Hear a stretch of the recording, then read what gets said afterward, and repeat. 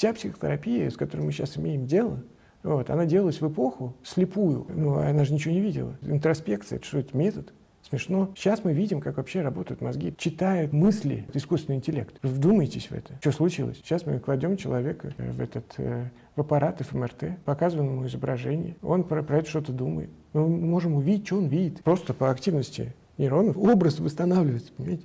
Во сне скоро можно будет видеть сны. Людей будет класть в ящик, понимаете?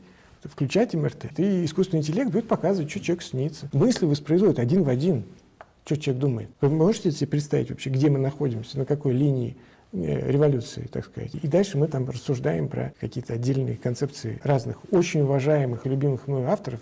Ну вот, но на самом деле наша задача понимать, что психотерапия и психология практическая должна фундаментально сейчас будет меняться.